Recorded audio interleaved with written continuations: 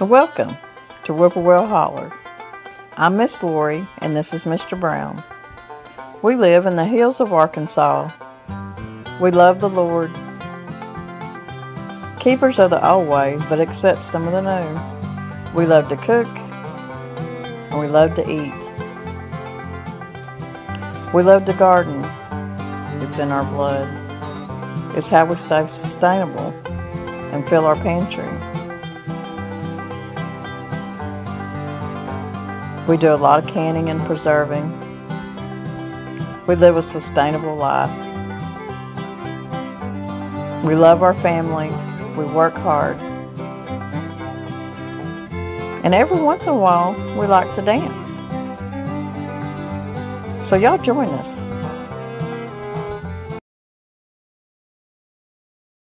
It's been such a pretty day today. Of course, I had to be at work today, so I couldn't spend it outside. But if y'all got to spend it outside today in this beautiful weather, then I'm happy for you. I just got in from work. And this morning before I left out, I thought, what do I want for supper tonight? You know, we think about that all the time. What do we want for supper? Sometimes it's just, it just gets hard, don't it? Trying to think of something. Um, the first thing I done this morning is I had some chicken breasts in the freezer and I took them out and put them in the refrigerator last night. So I thought, you know what I'm going to do? I'm going to make some individual, I'm going to make me and Danny some little chicken pot pies, some homemade ones. And instead of just cooking enough chicken for the chicken pot pie, I just went ahead and put in about four big chicken breasts in my slow cooker and let them cook all day, about six hours. So they were sitting on warm when I got home. But uh, so I'll cool off the other chicken breast and I'll put them up for some kind of uh, different supper this week that we might want. I might want to make some white chicken chili or uh, just a Mexican chicken casserole or something, just never know. So when I'm cooking like that, I like to cook ahead. And cooking a, a bunch of chicken breast or chicken thighs or whatever you choose to eat in the slow cooker all day, and then you've got quite a bit cooked up that you can put, bag it up and put in the freezer for another meal. But anyways, we're going to be making, we're cooking for two today. A lot of y'all love it when I come up with these recipes because it's either just the two of you or maybe just one of you but um, you can break it down to one very easy or you can make it uh, for two and then freeze the other or just or eat it the next day. But you're like me you don't want to constantly cook a, a big old something every night when it's just the two of you and you feel like you're going to be wasting it um, or constantly putting it in the freezer. But anyways we're going to be making chicken pot pie for two and I'm going to be using these little bowls like this. These are oven safe bowls. And they're probably about uh, six, uh, maybe a five, a five by two or something like that is what I'm going to be using. I'm going to be using two of these. But I got my pie crust already done. You can use uh, homemade pie crust or store-bought, whichever you choose to do. Y'all have heard me say in the past, especially when it gets around this time of year and the holidays, that I do put store-bought crust in my freezer because I'm constantly making so many pies when it starts getting about November and December. So there's no shame in using store-bought pie crust, that's for sure, especially when you're a very busy person. But uh, you can even use puff pastry if you want to, and that's really good but we like just the plain old uh, homemade pie crust. So what I've done is I used two cups of all-purpose flour, a teaspoon of salt, and uh, a stick of butter. I'm going to make a butter crust for this. I know a stick sounds like a lot, but the way I make my crust, if there's uh, two cups of flour, I always use at least half of that uh, well, it would be, say you're using one cup of flour, I would probably use I don't know. It's hard for me because I do it by touch and by feel. But using butter, I use just a little bit more than I would maybe lard. So two cups of all-purpose flour is going to make enough crust for these little ramekins and one stick of butter. So I'm going to bring y'all down here and I'm going to show you how I'm going to get my crust cut out. And then we'll be pre-baking the bottom crust. And while that's uh, baking, or probably what I'll do is, yeah, while, while the bottom crust is baking, we'll go ahead and make our filling. So uh, that's usually why I do it. And uh, it always turns out so good. Some people put bottom crust, some people just put top crust. Now, if I'm making a big chicken pot pie, a lot of times I'll just put top crust. Sometimes I'll put butter. It just, whatever you feel like what you got time for, don't matter. It's going to turn out wonderful either way. So let's get to cutting out our pie crust. Now I've just took my bowls and I'm just going to cut around them like this. Don't have to be perfect. You just want them to, to fit pretty good. To fit down in there. So that's one of them.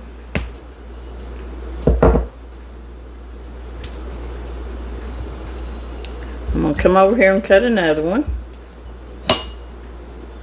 And this is the same thing I do if I'm going to make little individual uh, cobblers like apple cobbler or apple pie or berry cobbler something like that that I'm making pie crust for. And just making individual ones. This is the way I do it.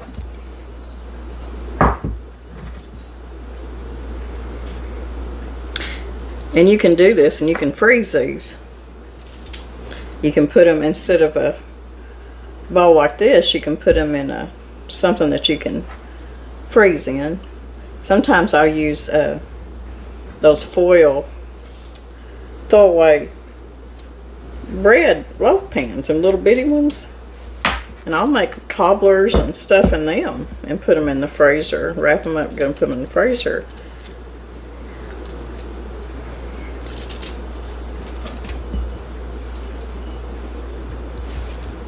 So that's our bottom and our tops.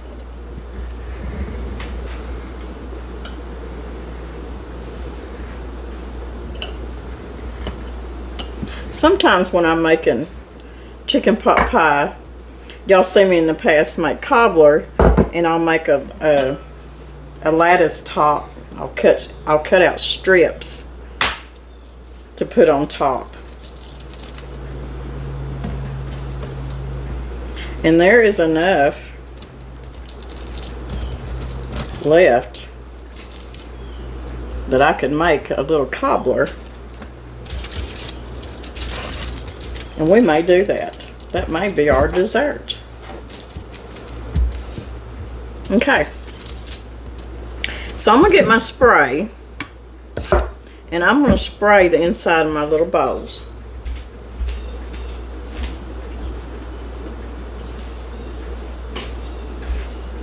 Now you don't have to make chicken. You could do this with uh, turkey or beef, or you could even do this vegetarian and use vegetable broth and just use your your vegetables.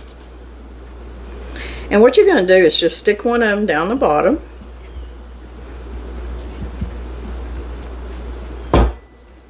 Just like that. Fits perfect. I'm going to put just enough little holes in there, just keep them from puffing up.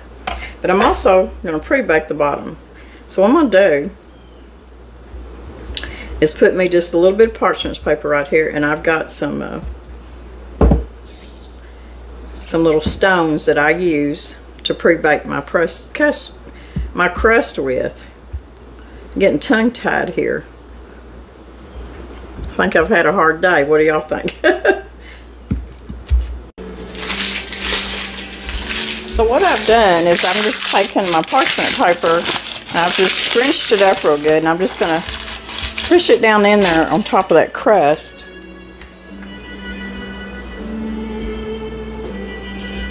I'm gonna get my baking stones.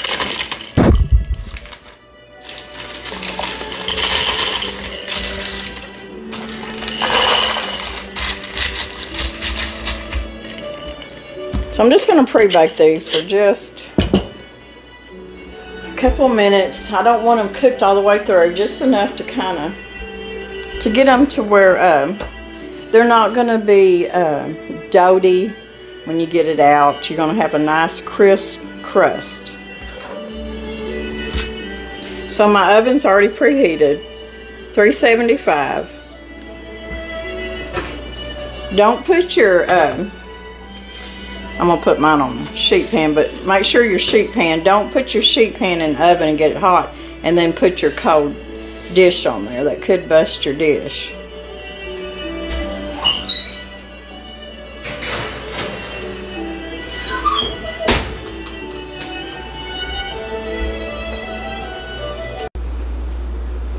Now we're gonna make our filling. I've got two tablespoons of butter.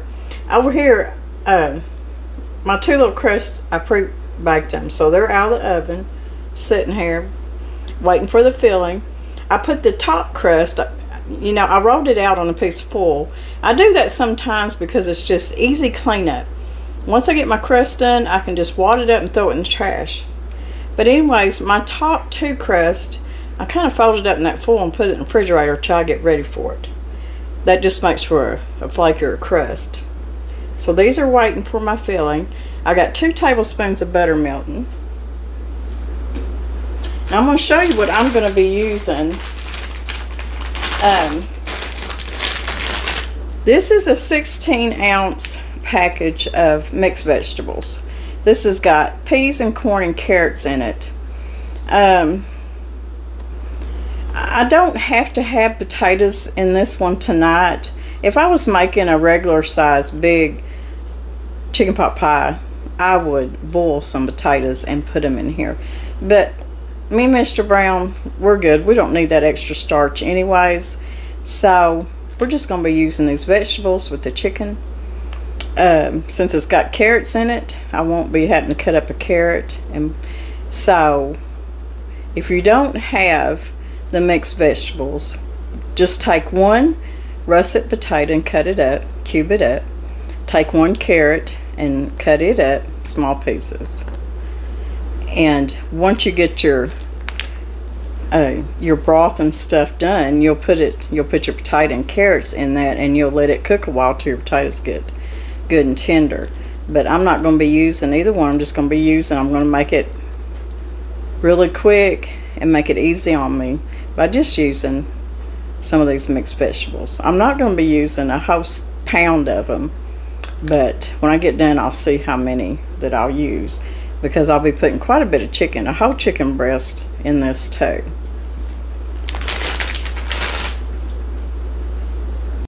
I'm going to take my onion and go ahead and saute it for just a couple minutes. That's just about a fourth of a cup of chopped onions. You don't like chopped onions in your chicken pot pie, you don't have to put them in there. You could also saute up some celery. You can pretty much put any kind of vegetable, anything in it that you want. I'm just using what I've got because I cook out of my pantry and my freezers. That's why y'all don't see me do grocery hauls because we live out of our pantry and freezer. That's just that's just what we do and how we grew up. You know, a lot of people do these uh, a year without the grocery store or doing a month without the grocery store. That's that's just something that we've always done. And it took years. It takes years to get your pantry and everything to where you're able to really do that. It's not something you just jump into.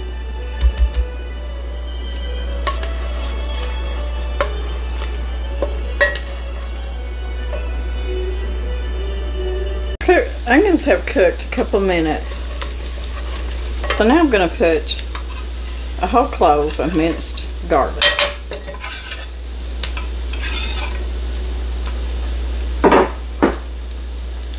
And I'm only going to let this saute for just a minute, not very long.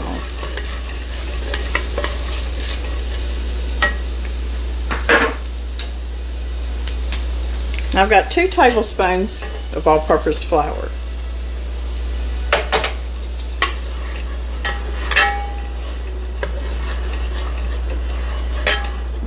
Garlic smells good. So I'm going to let this cook for just a couple minutes. You want to, kind of cook your flour a little bit. Just like if you was making a a sauce or a gravy. Now, like I was saying, you don't have to use chicken. You can use uh, beef. You could use a, a chuck roast that you've cut up into cubes and browned and cooked, maybe in the slow cooker all day. You can uh, even use pork. Just cube them up and, and cook them. And turkey,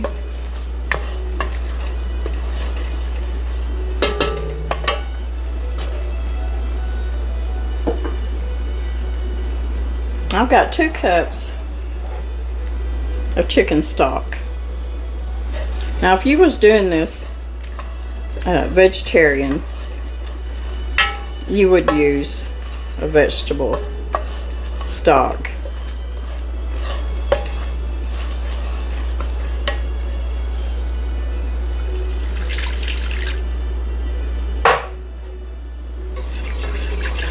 I'm going to turn my heat up just a little bit. I had it on low.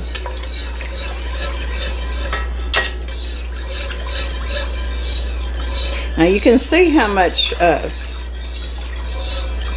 of the filling uh, gravy or sauce or whatever you want to call it. Usually if I was making a, a big chicken pot pie, you know, this thing would be full. But this is just for two people.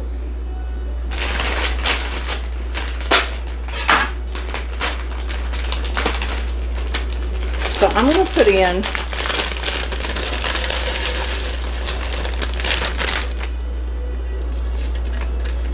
as much as I love my vegetables.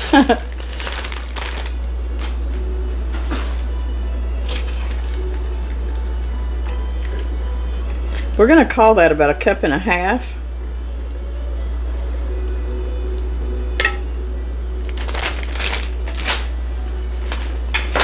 I'm going to go ahead and put my chicken breast in that I just kind of cut up. This is going to cook and it's going to thicken up. Now I want to taste it here in a minute for salt. I don't want to salt it right now until I taste it. But this would be the point that you would put your your cut up, cubed up potato and carrot. And then you would cook it till everything got tender. And then you would add your peas and whatever else you wanted to add to it.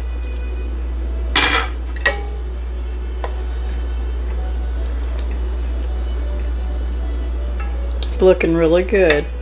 I could even add more chicken to this.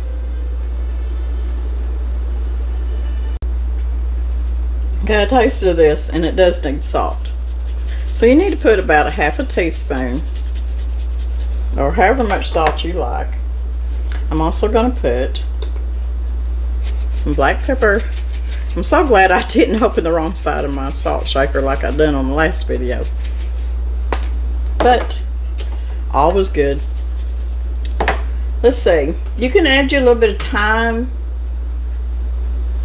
I've got some fresh thyme around here. Just however you want to season it up. A little bit of thyme. You take your little bit of parsley, some fresh parsley.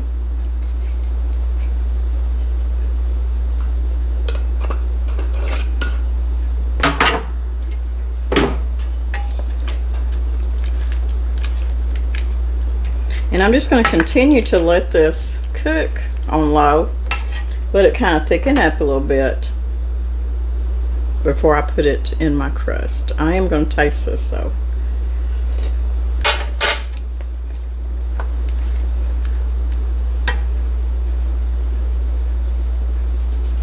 A little bit more salt.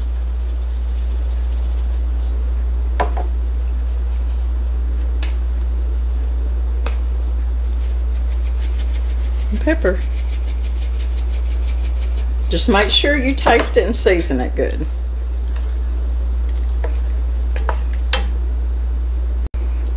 Okay, our filling has thickened up. And I went and got me just a little bit of fresh parsley and put in there. So as far as seasonings, as thyme, far as the thyme and salt and pepper, I want y'all to put it in there. I want you to taste it as you go. I'll put the recipe down, of course, in the description box, and I'll also have it on my website. Uh, but even at that, I still like for people to, to taste everything because everybody's different.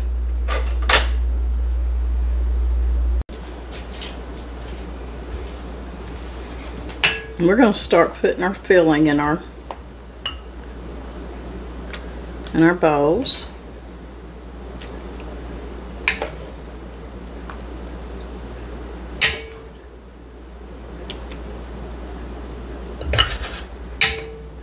This, even this much makes quite a bit of filling. I tell you how we used to eat it.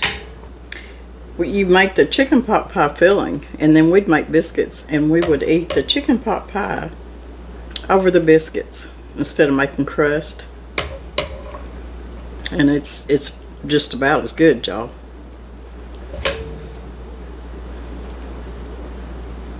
So pretty much I've got these full.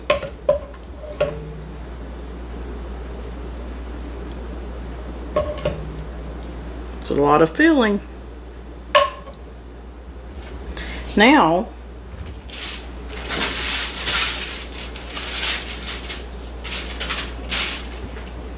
see my pie crust has been in the refrigerator, so I'm just going to kind of tuck some of the edges in,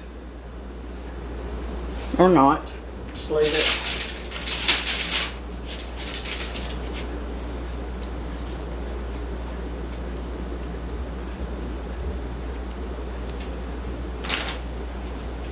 Now I'm going to poke crisscross right here in the middle to let some of the steam out. And I'm going to keep it on my cookie sheet here and I'm going to put it in the oven. 400 degree oven. And we'll see how long it takes to get them cooked. Since we had quite a bit of dough left, I've got enough dough right here, enough crust that I can make me Mr. Brown some individual little cobblers. And I'm going to use my apple pie filling that I canned, oh, a couple weeks ago. Uh, we were given a bunch of really good, beautiful apples. And I'm going to use this. So all I'm going to do is I sprayed my little individual pans and I've got enough crust that I can cover the top of each one of these. So I'm going to take a little pie pan. I think I can pretty much just cut this in half. It's not going to be perfect, but it's going to work. And I'm just going to put some of my apple pie filling I, I sprayed them so it shouldn't stick. And I'm not going to put a bottom crust, just a top crust. These apples were so good. We were gifted apples and pears, muscadines. They're really good people in our area. We like to share and help people and help people put things up in their pantry. If we, you know, have an abundance of fruit or vegetables out of the garden. We like to give them to people.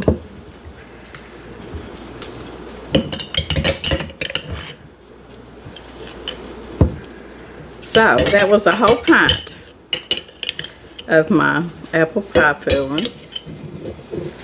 It's already got cinnamon and all that in it. I'm going to take some dabs of butter here. My butter was a little frozen. And you can freeze these. Whoops, toothpick. You can freeze these. They should stay for in the freezer for good, at least a month. Wrapped up good. And I'm just going to take one crust and I'm just going to shove it down in there. And I got a little bit left right here on the edge, but I ain't about to not use it. I'm just going to put it right here and make it fit. Do the other one that way.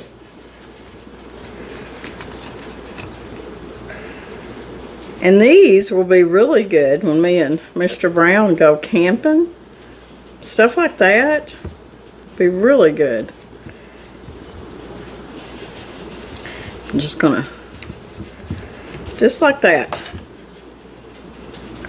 Put a little slit in there.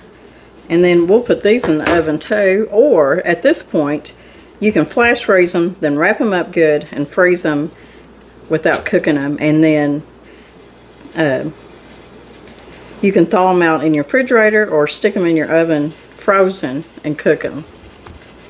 20 minutes in my oven on 400 degrees. And it is good and done and brown and bubbly. And it's going to be delicious. Chicken pot pie for two.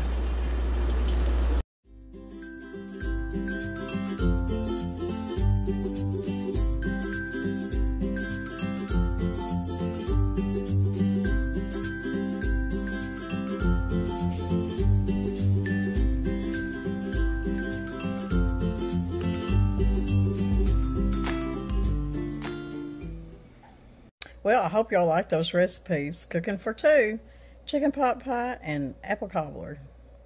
It's delicious. I know a lot of y'all like those cooking for two recipes and I'll be bringing more to you, that's for sure, because I got several. I know just the two of us anymore, it really comes in handy not to have all the leftovers and just cook it enough for two because it saves money too and no waste. So, if you like this recipe, give us a thumbs up. If you haven't subscribed, please subscribe. And y'all come back and see us because we're always doing something. God bless everybody. We love you.